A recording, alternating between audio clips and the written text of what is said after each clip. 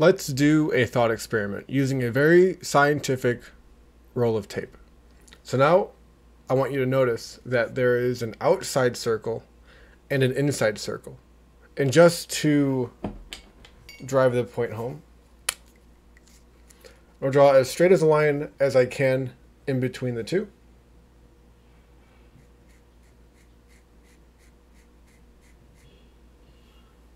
There you go. There's that.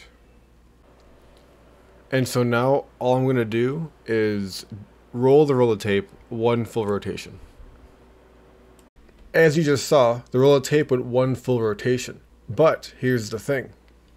So the bigger circle went one full rotation, but the smaller circle went one full rotation as well. So how is it that the bigger circle with a bigger circumference traveled the same distance as the smaller circle with the smaller circumference? Because I mean, think about it. The intuition here is that if you have a bigger circle, it can roll a further distance before hitting one full rotation. But the smaller circle would have to do one full rotation and some extra stuff to even reach the same distance as the bigger circle. So why is it that when you do one full rotation, the small circle and the big circle travel the same distance? In order to dig a little deeper, we need to start making some measurements.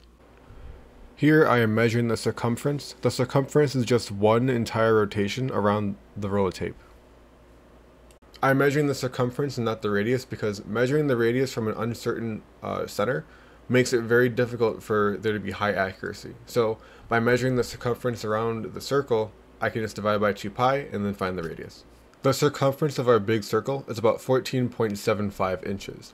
So that means that after we divide by 2 pi, our radius is about 2.35 inches. And so if you want to find the radius of our small circle here, all we have to do is subtract our big radius by this black line, and we'll find our small circle. The radius here is about 0.75 inches. So, if the radius of our big circle is 2.35, and this small distance here is 0.75, that means the radius of our small circle is 1.6.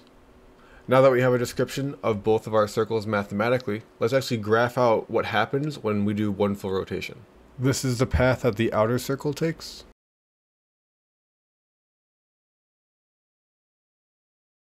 This is the path that the inner circle takes. This is both paths drawn together for comparison. As you can see from what we just did, the larger circle travels the same distance as the smaller circle. However, it seems as though the smaller circle travels a more direct path than the larger circle.